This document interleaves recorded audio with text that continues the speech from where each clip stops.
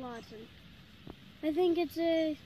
The reason I picked this book out is because I really like the Pittsburgh Penguins and hockey.